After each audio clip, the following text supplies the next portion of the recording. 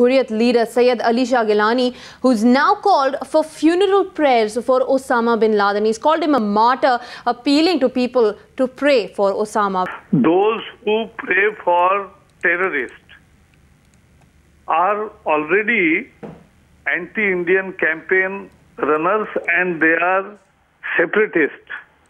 So, but let me also tell you that even the Muslim majority of Kashmir Valley is not with Geelani. And latest was when the panchayat elections were held, Geelani gave the boycott call, but the Muslims uh, all voted in large number all over the state. So that means people are not with him. And if he wants to praise terrorists, he is preaching anti-India campaign for long. He is into treason activities and the sedition charge which should have been leveled against him much earlier was not leveled for political reasons by the UPA government.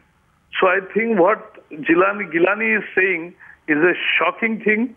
If anybody wants to pray for the terrorist Osama bin Laden who has killed um, thousands of people and in which hundreds of Muslims have also been killed.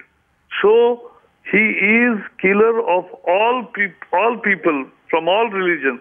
And so he cannot be representing the Muslims. So he was not a Muslim leader. Uh, Osama bin Laden was a terrorist and an anti-humanity force. So there is no place for the prayer for him.